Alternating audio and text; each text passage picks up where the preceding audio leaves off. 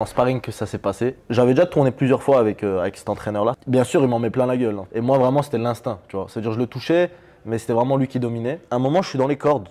On est au troisième au quatrième round. J'ai plus de cardio. Je suis éteint. J'ai plus, je suis vraiment fatigué, tu vois. Mon corps, il n'était pas encore habitué au striking. C'était vraiment, j'avais un corps fait pour lutter, pour faire du judo. Le mec, il envoie, il envoie, il envoie. Moi, je, je suis là, j'encaisse, j'encaisse. Et à un moment, je sais pas, je, je sens que c'est le moment. J'inspire de l'air, je sens euh, le coup euh, au corps qui me touche. tu vois. Un coup au foie parfait, c'est terrible. hein. Et là, franchement, je pense que j'ai goûté à ce coup au foie parfait.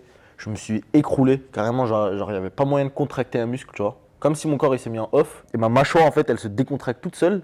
Et mon protège-dents, il tombe de ma bouche. vois. Tellement flippant ça. Et impossible d'inspirer le, le moindre gramme d'air. Euh, Moi, j'ai cru que j'allais crever carrément, tu vois. Et depuis, euh, j'ai vraiment bien travaillé dessus. Là, on- quasi personne me touche au foie. Personne me touche au foie.